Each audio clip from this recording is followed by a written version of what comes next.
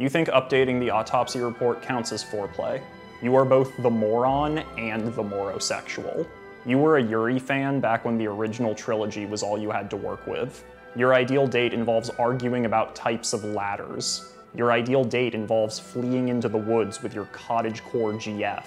You're always a slut for workplace romances. You've never seen an obsessive desire for revenge that you didn't think was at least a little sexual. You are a firm believer in the inherent eroticism of avenging someone's death. You are a firm believer in the inherent eroticism of codependency. You are a firm believer in the inherent eroticism of elaborate ruses.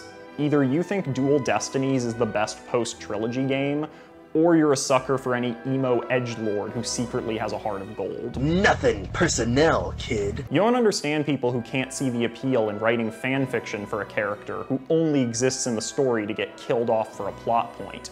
What is fanfiction for if not fleshing out a character who only exists in the story to get killed off for a plot point? Either you think Spirit of Justice is the best post-trilogy game, or you just want good things for Ema. And really, who wouldn't? You're not necessarily here to fuck dads, but you are here for a daddy. You are just here to fuck dads. You're just here for some edgy twinks. Either you think Apollo Justice is the best post-trilogy game, or you're just here for some men getting pegged. You just want good things for Gumshoe.